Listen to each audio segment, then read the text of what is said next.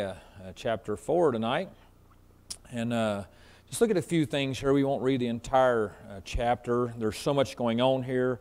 Uh, you probably know the setting. The, the rebuilding of the walls is the setting. And we're going to be looking at the opposition uh, tonight and what takes place there in chapter 4.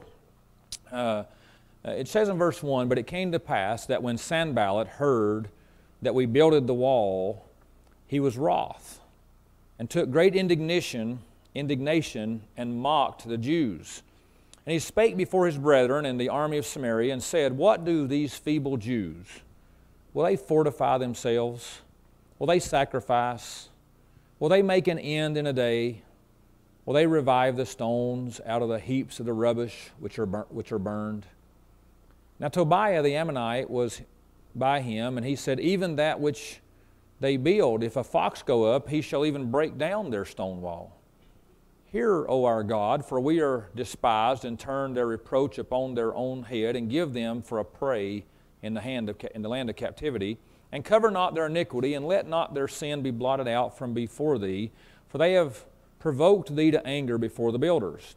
So built we the wall, and all the wall was joined together unto the half thereof, for the people had a mind to work. Now, real quickly, uh, the, the building of the wall is taking place. Uh, we find them, they're, they're, they're going through the rubbish, and, and, and a, great, a great group of people has been assembled here and put together by God's leading and, and by the man of God, and, and, and now work is being done. And even while the work is being done, they're finding opposition, and Sanballat uh, mocks them, and he becomes angry because they're trying to rebuild it, and he mocks them and makes fun of them, and, and that's going to happen in our life, honestly. I was thinking about that just yesterday, uh, about how, as I uh, heard some preaching there from a couple of preachers in our state.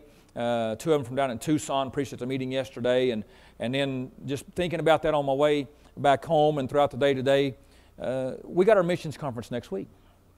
I was thinking about, uh, I, I, think, I seen J.C. Joyner up there yesterday, and by the way, his eye's doing much better. He's had been having taking the shots once a month, and I think he has two more rounds to go. But he said now everything's almost back to where it should be. Eh, you know, uh, uh, he had that wet, macular, whatever, yeah, whatever, yeah. Anyway, so it basically a blood vessel busted in the back of his eyeball, and and and, and so that's why they call it wet. So they had to get the blood out, and that's what the shots have been for, is drying up the blood and, and spreading and dis- dis- dissipating the blood. And, and now he said yesterday, he said, everything's back to good. I'm driving again now and everything. He drove there up to Scottsdale yesterday from down in Tucson. And he said he, he looked across the room at the cabinets. He said, he said, those cabinets are just a little bit crooked. He said, but other than that, my eyes are good. He said, just a little faint little bit showing. He said, much, much better. And he was praising the Lord about that. And I've seen him, who's been there at the church, uh, my memory fails me, either 54 or 57 years there in Tucson. Uh, same pastor, same church. I mean, just an amazing man. And 80, he'll be 86 years old here, I think, next month. And just, uh, and, and, then I got to see some of the, the younger church planters, several of those whose churches are uh, a year or two old or five or six years old. And, and I got to see what, you know, the church there, Northway Baptist Church in Scottsdale, who just secured a, a not, less than a year ago, they, they bought their own property. Now they bought a storefront that's in a, in a really nice facility, housed all around it. It doesn't look like your strip mall. It's Scottsdale, so it doesn't look like anything anywhere else in the state, you know. And, uh, uh, but uh, very, very nice, and of course, very expensive being in Scottsdale. You can imagine. I, I think about, you know, uh, the need of Scottsdale, just like a few years ago we invested in a ministry that, that tried to get started in Fountain Hills, a very, very rich area. Probably the most, it's kind of the Palm Springs of Arizona, you know. I mean, it's where the people that have money go to live, you know. And, and, Scottsdale would be a very close second to that, you know, as far as it's right on the, the, neighboring town. And, and Scottsdale used to kind of be that area, but now Fountain Hills has grown into the, where the, uh, the more I guess more wealth is contained there, we can say. And a lot of people uh, live there that have really no need of God. In their mind and their eye, they, they don't need God. Their life is good, their investments have prospered, their life is good, their health is good, they've got money, they've got large homes, they've got prestige, they've got fame, they've got so many things. But the Bible says specifically to that crowd, beware. because of the deceit of riches. The Bible says speaks expressively to that crowd. So that crowd needs to hear that, amen? They need to hear that Jesus Christ died for you and, and, your sins can be paid because you have a sin that you may have no other debt, which, truth be told, most people that claim to be rich really are just rich in debt.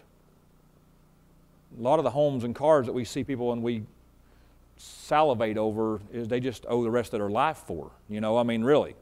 Uh, but that you could say to somebody that has money, you may, be, you may not be rich in debt financially, but you are eternally in debt for your sin apart from Christ.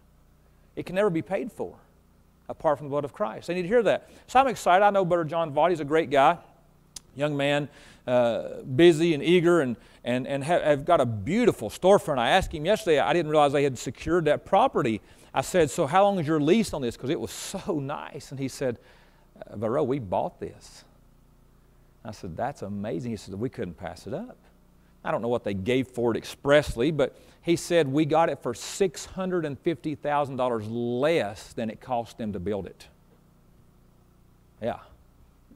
I'm sure it's still a bunch of money though. And, uh, uh, but, but, but, I mean, it's gorgeous. And, and it's paved parking lot, covered parking, you know, these reserved parking spots, you know how these places are, and, and, paved parking lot, and, and a nice auditorium, and, and, and of course the travertine tile floors everywhere out in the auditorium, and it's already got a kitchen and fellowship hall and Sunday school classrooms because it was a, a storefront. It was large, it was nice. And I was excited for them. And then I've seen some of the other pastors and church planters there and seen what God's doing through them. And I thought to myself, I seen Brother Tim Trieber. Remember Brother Tim Trieber that was here with us for a youth meeting two years ago, I guess it was. Is that right? Brother Tim Trieber was up there. He's starting a church in Surprise this fall. And, uh, and I seen him, and he was there. And I said, and, and so the service had concluded, and I turned around and I said, no, I didn't even see him then. I was shaking hands with people. And I went out to get, they had lunch for everyone. I went out there to get in line, and, and, I, and Brother Trieber was there, and I said, what are you doing here? Which I knew was starting a church this fall in Arizona, but I didn't realize he was there. He said, I sat behind you. I didn't even know he was even in there, you know. And uh, and, and, but uh, uh, that many come in late, by the way. And uh, so and uh, but we had a good time fellowshipping, and they're going to be starting the church in Surprise this fall. And and then I was there. I was on the phone on my way back down yesterday with Michael uh, Crittenden, who was here back last fall, I believe it was, and he's the one starting the church up in Phoenix there in, in a neighborhood in an area in uh, right, Alpha, right outside of Deer Valley where there's never been an independent Baptist church ever. And, he's, and he's, they're already meeting in a home every Thursday for Bible studies, and, and he got people coming. They've already had some folks saved.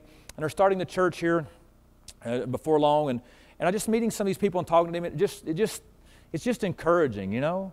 Uh, I told Brother Trieber yesterday, he was there at the meeting, and I said, Brother Trieber, I know, uh, you know, because he's Jack Trieber's son, he knows a lot of people. A lot of people have come through that church visiting and things like that to meetings and stuff. And I, and I sat there and I said, Brother Trieber, do you know most of these pastors in this room? There's probably 25 or 30 of us there yesterday. And he said, I know some of them. So there was two sitting at our table. I said, do you know Brother and Mrs. George Feaster, who I was sitting with? He said, I do. I said, do you know Brother and Mrs. Roy, James Roy from Buckeye? He says, I don't. So I introduced him to them. And I, and I told him, I said, Brother Tim, I said, you're going to find out something in our state. Maybe we don't have as many pastors as California has, but we've got some great pastors in our state. Honestly, I'm, I'm honored. Uh, we, are, we got some great churches in our state. I mean, fundamental uh, Bible preaching, great dedicated churches in our state. And if we're not careful, we can get so discouraged, so aggravated, uh, we can get so involved in everything else that's going around that we kind of feel like Nehemiah chapter 4. We kind of look for the Sanballats that's in our life. Uh, we don't, we're not supposed to be looking for them, but there's always a Sanballat that's trying to mock us. There's always a Sanballat that's trying to make fun or trying to discourage. There's always somebody throwing something at us, you know, laughing. what do y'all think you're doing over there? You're the only ones that you, do you not realize that you don't have to meet two or three times a week anymore. You can just have one service a week. And don't you realize that people have other things to do? And don't you, and, and they'll mock and they'll laugh. And don't you realize that, that you don't have to listen? You can wear anything you want to wear. You can do whatever you want to do on Friday night and Saturday night and Monday and Tuesday and Wednesday and Thursday. Just Sunday is the Lord's day. The rest of the days are yours. And why do you want to give your money to the church? Don't you know that churches have all the money in the world? You need, you need that money for your family, and they're going to mock. And what are you doing trying to tell your kids that they can't go somewhere? Everybody else lets their kids go over there. Why don't you, what do you mean you don't let your kids do a certain thing? Everybody else's kids does that thing. And look, they turned out fine. I had someone just in the past few weeks, Jacob and I was uh, together, and and, and there was a man whom, by the way, one of my friends, and I won't give his name because I don't want him to be gossip, but one of my friends that I know and I've known for some time comes up and he was talking to Jacob and I, and he says to Jacob, and he asked Jacob how old he was. And Jacob told him, he said, Man, by the time I was your age, I'd already been on my own for over a year. Can I say something to you? I'm not mad at that guy for making that statement, but I don't believe that's God's purpose for Jacob's life. And right now, I get to be kind of the director, you know? And I just don't think it, I don't think that it's God's will for Chris and I just to say, out the door you go, because I know somebody that was out of the house supporting themselves when they was a, a year younger than you. I think that's ridiculous. Now, that guy wasn't trying to personally attack me, he was just making conversation. But the world does that. Someone would mock my wife and I, maybe. Hopefully, no one in this room. I don't think anyone in this room. But there would be those that would mock us because our daughter's going to be 22 years old. Yeah, Chris and I was talking about this the other day. Jake is going to be 18. Our youngest one's going to be 17. That's what I say. How did that happen? How did my baby get to be 17 here in a couple of months? And my son going to be 18. I'll have two kids over 18 here in a month. How did that happen? How did I get, how did my wife and I, who she's barely 20 years old, have a 22 year old daughter? I mean, seriously. This is crazy. Time moves so quickly. And some would criticize us and, and they would say, Your daughter is 21 years old. You should not have any whatsoever influence. Let her do what she Listen, raise your family, and I'll trust the Lord to help me raise mine. Throw your bottles and your tomatoes and, and all the stuff you want at me. But we're going to build the wall. you know? Seriously. We're not going to stop. We're not going to stop opening God's Word. We're going to come to the church of God and the house of God, and we're going, we're going to open the Bible and we're going to declare the Bible and we're going to preach the Bible. And when I was there yesterday at that meeting, I just left there on my drive home. I went by and seen Drake and spent some time with him, and then I went by to find Emily and couldn't. And, and, and so I finally was headed home, and and uh, and on my way home, I, I, talk, I, I know I had just gotten home when I talked to Jimmy, and he was telling me about Miss Irene. So then I went over there to visit with her for a little while. But I was coming, I was coming on yesterday, and I was just thinking, I thought, we got a bunch of great people in this state. Not just the pastors, we got a bunch of great church members in this state, dedicated, sold out Christians that just keeps putting mortar and rock and mortar and rock and mortar and rock. And you think they don't get mocked? Just like you may encounter some things with your neighbors or your young people with your classmates or your coworkers.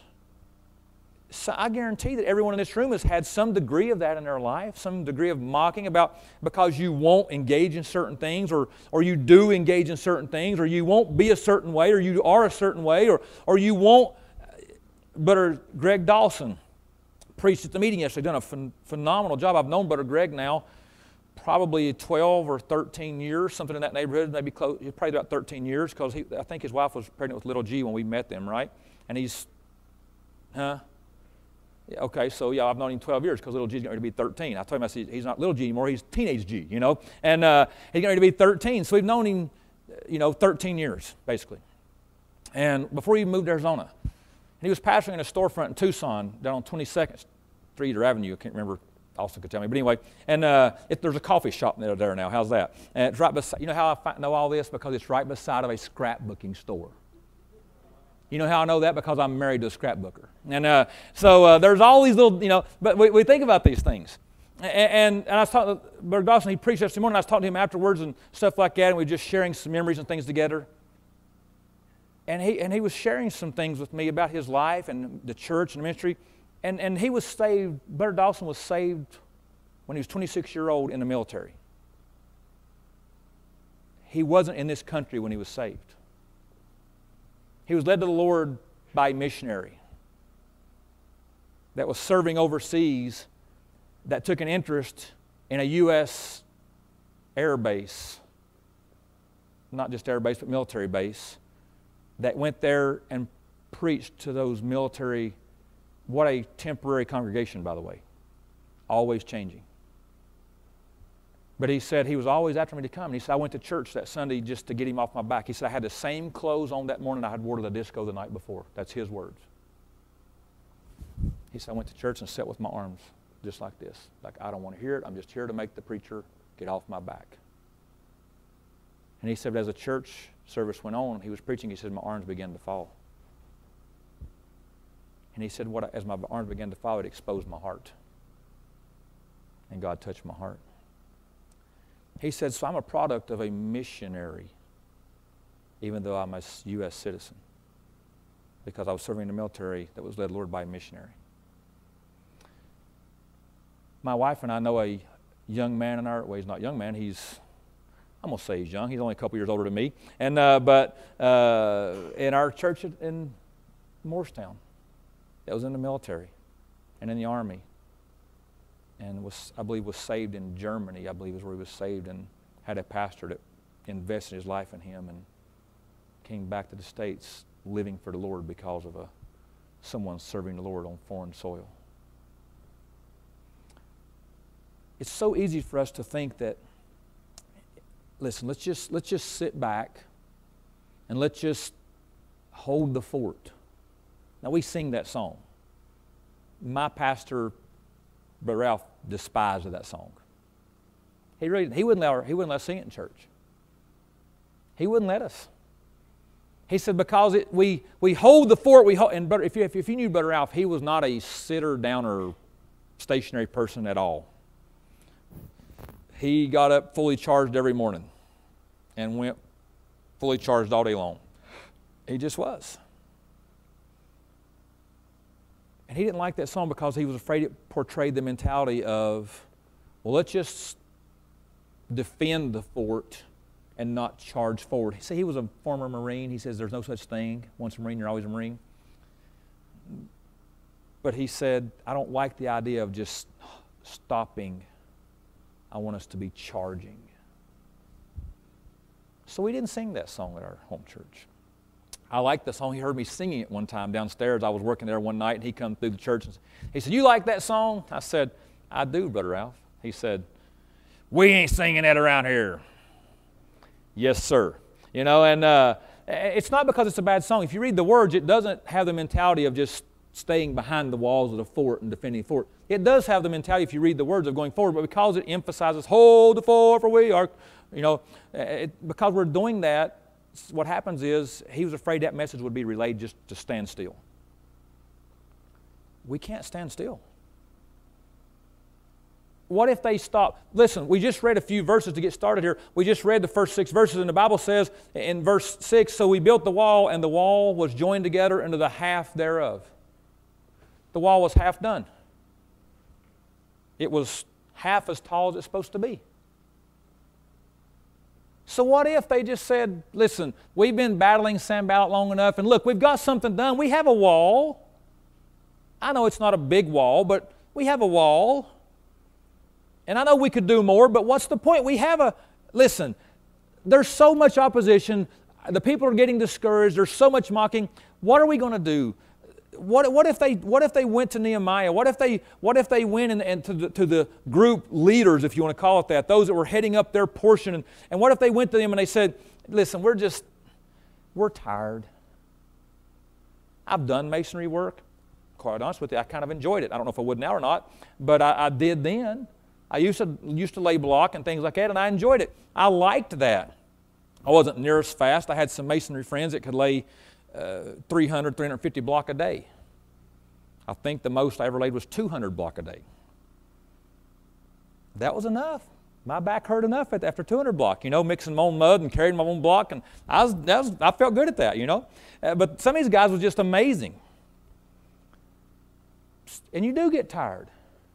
Your hands get rubbed. And but it's, they weren't just putting rock on a wall; they're also battling discouragement.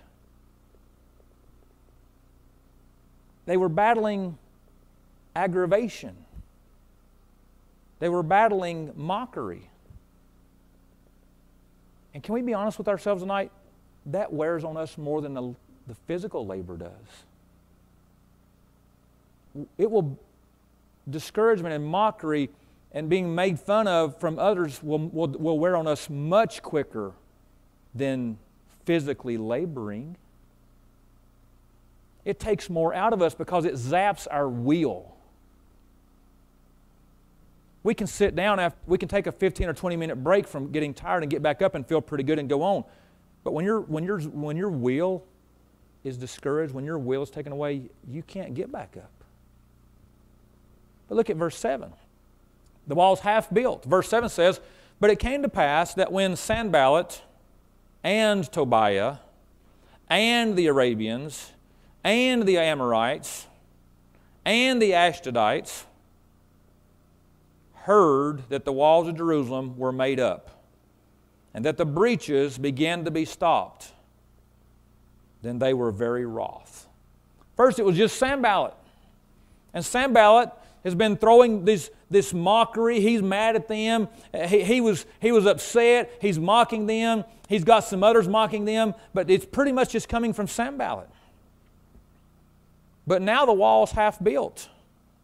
The people's getting tired. They've been battling discouragement. They've been battling aggravation. They've been battling the elements. They've been battling everything. And now the enemy seems to grow in numbers. And I'm going to show you real quickly what happens. They're attacked from every side. Let me show you real quickly, just so you'll understand. I'm going to have to get these out. My eyes are killing me tonight, so pardon me.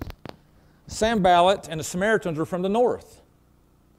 The Ammonites was from the east, the Arabians were from the south, and the Ashdodites were from the west. All four sides. They wasn't just discouraged from Sanballat, now they're getting it from the other three sides as well. And as they're being discouraged and they're being aggravated, and now it's the wall's half built all the way around, but there's people, the breaches are closed up, so there's no more like open holes, but they're just short walls. And it's not just the fact that they're making fun of them, but they're even making fun of their work. It's not just mocking the people, they're mocking their work. They said, listen, what you're doing is so weak and so feeble that if a fox leaned up against it, it would fall over. How many of you realize when someone attacks you, they're really not, if you're taking a stand for Christ, you're not, they're not attacking you, they're attacking Christ through you? And we say, ah, yeah, they're not going to discourage me because it's Christ through me. But when they attack your work, seriously,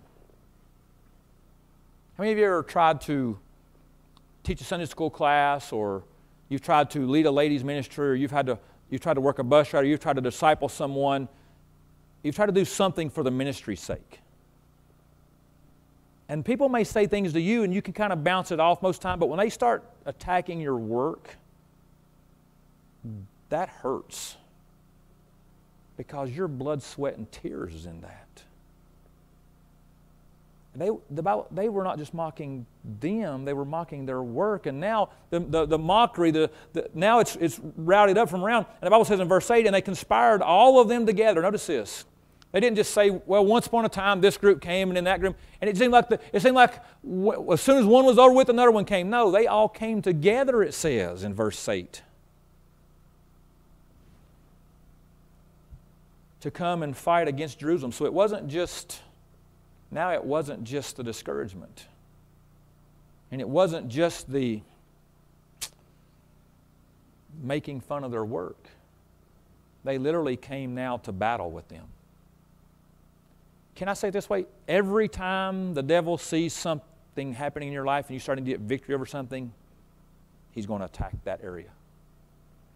Every time an area of your life starts to get fortified, is that not what it says? Every time an area of your life starts to get the breaches closed up, the devil's going to attack that area because he's losing the battle.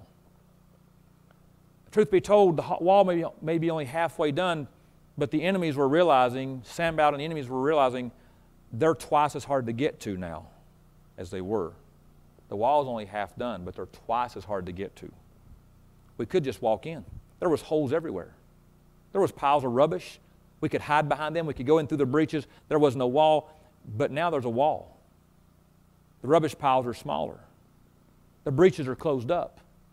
It may not be a big wall, but there's something being done. Our church has been attacked a few times. It seems like that churches often get attacked in their infancy. And ours was no exception. Now, there's never a time when the devil doesn't want to attack the church, right?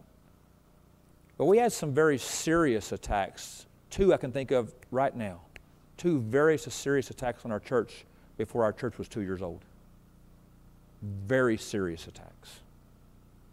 That if God had not moved in had we not trusted the Lord with these and God had not moved in, if we'd have tried to battle them ourselves, if we'd have tried to started talking about it, and we're going to fix this, and if we hadn't trusted God with this, and that was honestly, that was my prayer through both those situations. God knows this is true. My prayer was, Lord, I can't take care of this. This could destroy this work. Lord, you are going to have to take care of this. I'll take my stand. And I did in both situations, at least the two I'm, talking, I'm thinking about right now. I took my stand, my biblical stand in both situations, but I didn't take that stand with my person in mind. I took that stand with the work of the Lord in mind. And I took that stand with God's word in mind, and He says, The gates of hell shall not prevail.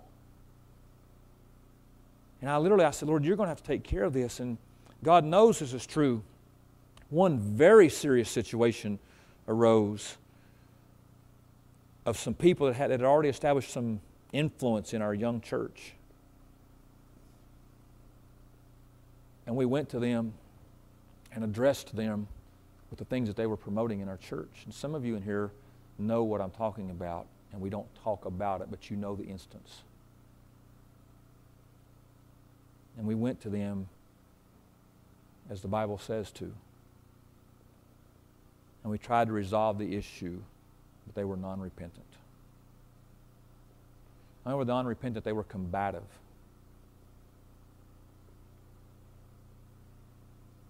The witnesses that was there with me that day said when we, when we left their property, the witnesses said, I cannot believe their response.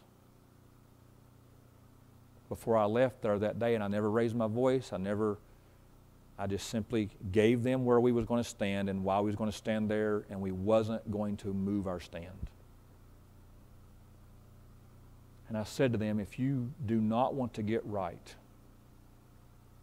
then if you the only time you are ever allowed back on the church property is if you want to get right, and any other time you are on that property, we will have you arrested for trespassing. That sounds mean, doesn't it? I thought the church is for everybody.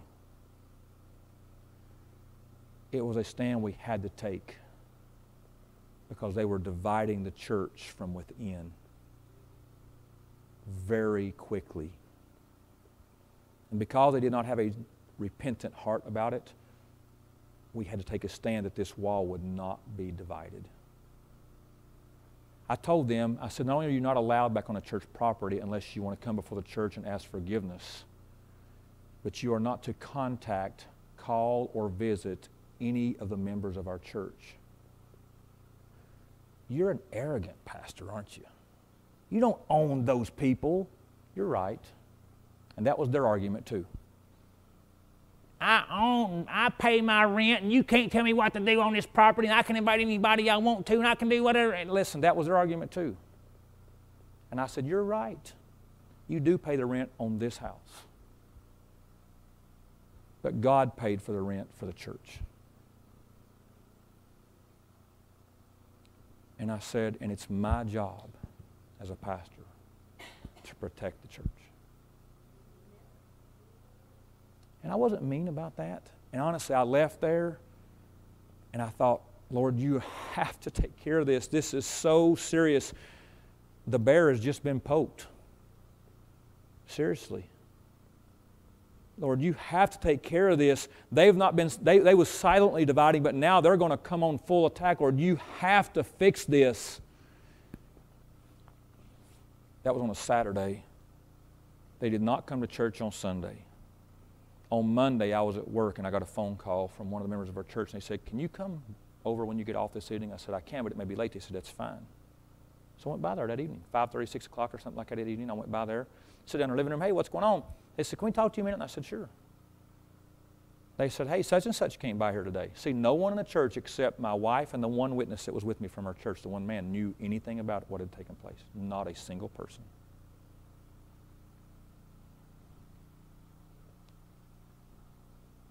Because I took my wife and another man from the church as witnesses. I said, Hey, what's going on? Well, such such came by our house today. I said, Really? I said, What? I said, I said, How they doing? Just completely innocent. They said, Well, they said that you told them that they weren't allowed to contact us anymore. I said, I did. I said, well, What was your response to that? Well, they said they wasn't there to talk about the preacher. Semicolon. Because a pause isn't long enough. A comma's not long enough there. And then they paused a few seconds and they said, but they proceeded to. And I said, What's your response about that? This is a couple that had just been saved.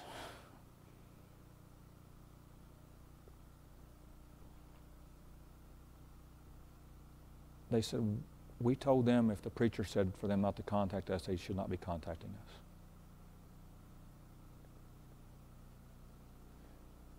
And they left.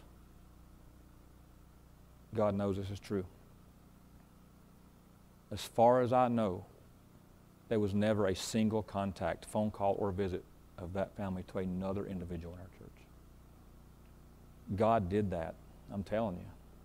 Because when we left there on Saturday night, the war was on. They was in full attack mode. The wall's half built. It's just young. It's just little. But now Satan says, uh oh, the one attack didn't work, so we're going to send multiple attacks from every side. And they did.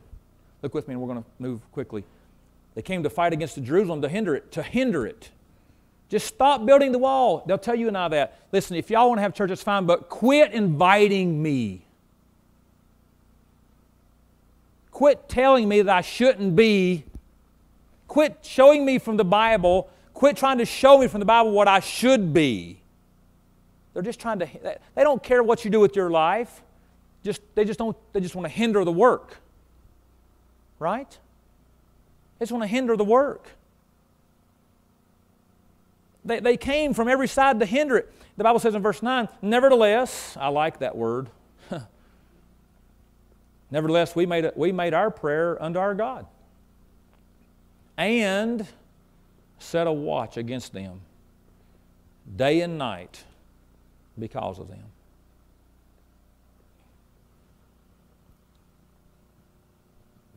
Matthew chapter 6, we won't turn to Matthew chapter 6, verse 41 tells us we are to watch and pray. They set a watch. When, when the attacks came from every side, you know what they did? They said, hey, we got to pay, we got to pay attention to every side now. It's not just that crowd. They've recruited help. And the devil's throwing darts from here and from there and from here and from there. And so they said, you know what? We're going to have to divide up here a little bit. So we're going to watch from every side now. And we're going to have shifts, and people's going to work day and night, and they're going to watch day and night. Uh, Charles Haddon Spurgeon put out a paper he used to put out. I've got it somewhere, not the paper, but I've got the printing of it in a book form called The Sword and the Trowel. What a title, honestly. The Sword and the Trowel. working and defending. you know? Working and defending. The sword in one hand, the trowel in another, you know? Fighting and laboring. The amazing thing about it is, God wants to harm us and injure us, and He wants to stop the work of the Lord. The Bible says in verse 10 And Judah said, The strength of the bearers of burdens is decayed, and there is much rubbish, so that we are not able to build the wall. And verse 11 says, And our adversary said, They shall not know, neither see, till we come in the midst among them and slay them and cause the work to cease. Look real quick. And Judah said, The strength of the bearers of burdens. Judah said that, not Jerusalem. Those that's on the outside of, what, of the Lord's work don't realize what strength is in the Lord's work. So they'll say they can't keep on doing what they're doing. They got to be tired. And he goes on, he says in verse, verse 12, And it came to pass that when the Jews which dwelt by them came, they said unto the ten, they said unto us ten times, From all places whence we shall return unto us, they will be upon you. So we find out here that there's, that there's some mockery that's still taking place. And, and we find out that Judah is saying, Listen, there's no way this work continue. We, we're going to go and slay them, and the work will cease.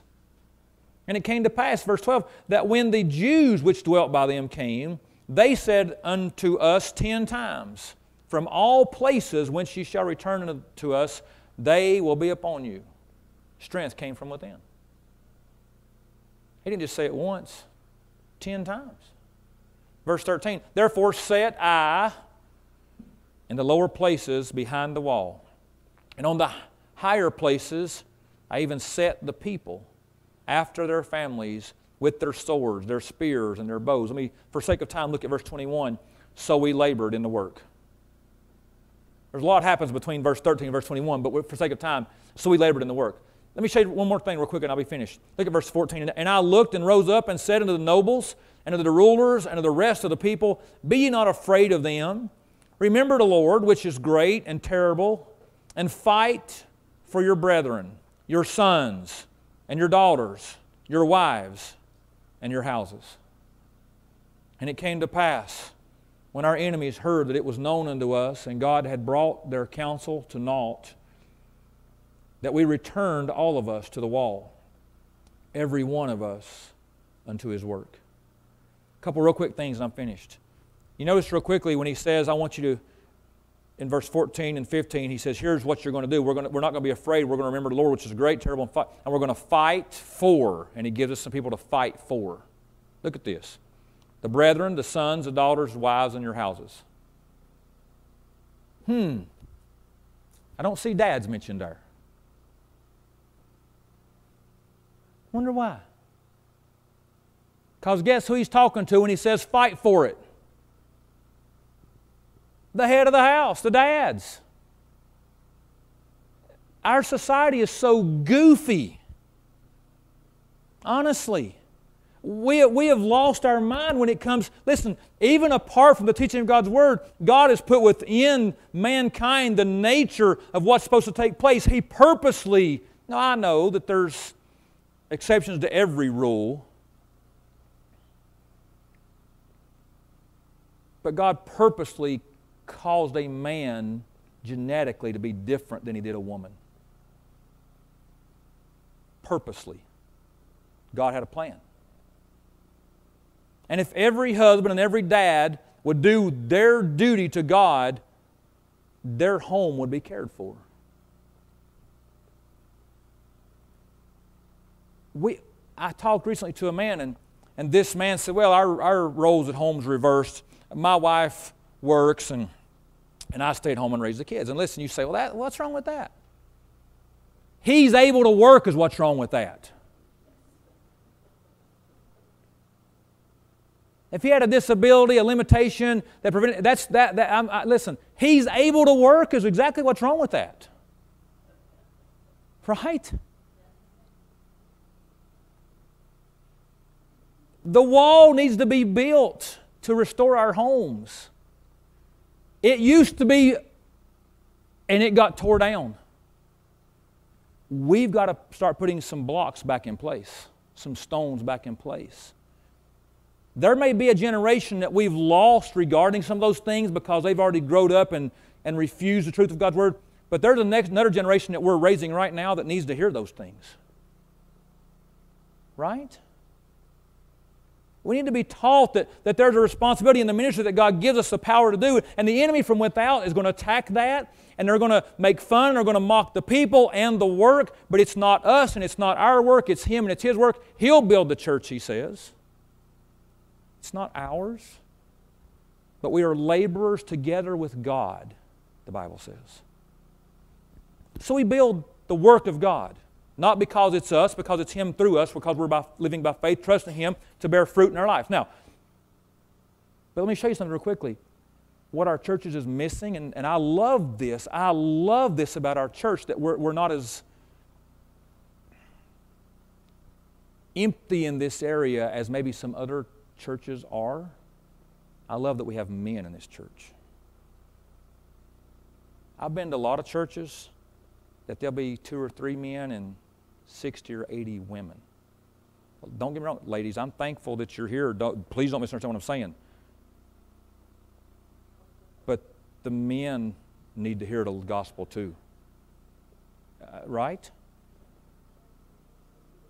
One of the greatest things that I love about our Christian school back at, back at in Tennessee, our church Christian school's been there for, oh my goodness, probably, probably 40 years now, 40 to 42 years, something like that.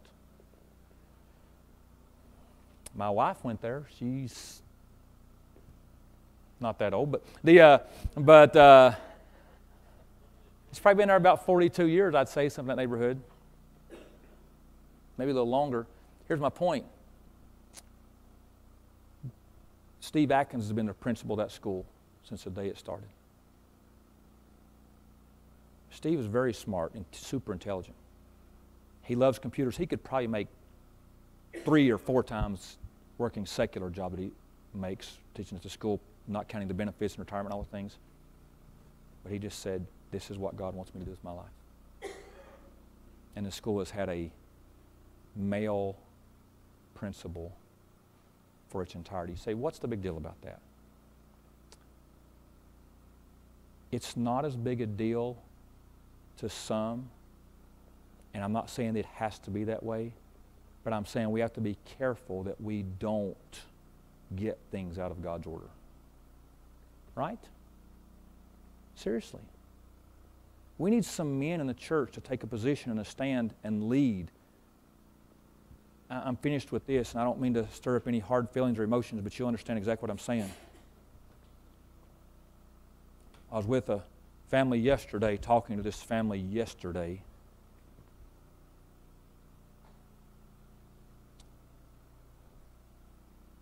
and bragging on Brother Jack Grover.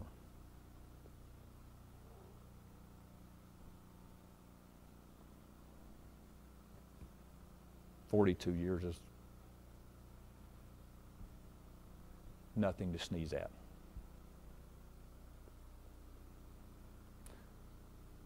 Forty-two years of faithfulness. Well, yeah, but he probably never really let me remind you, he was over a rescue mission of drunks and drug addicts. He pastored a church. He's had his battles. He just kept building the wall.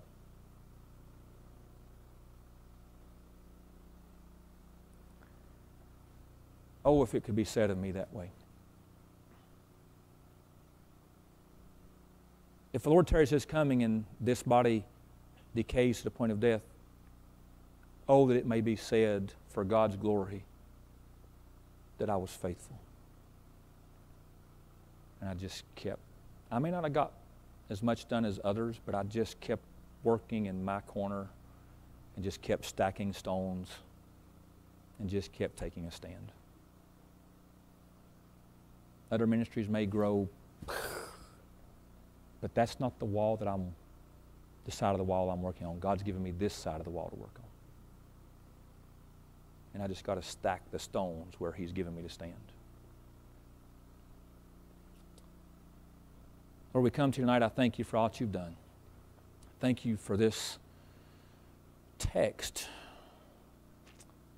Thank you, Lord, for this truth. I ask you now to be with us and guide us as we go home. Keep us safe. Lord, there's so many things in my life that I need forgiveness of.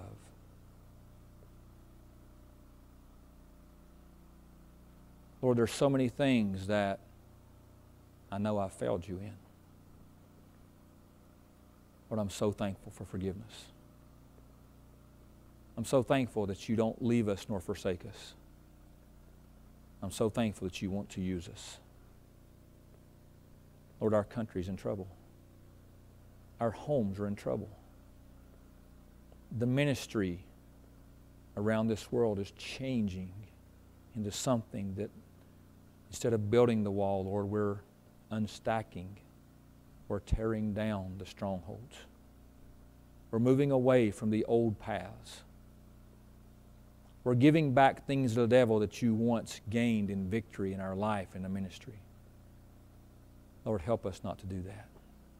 Forgive us where we fail you. Strengthen us that we may continue to serve you.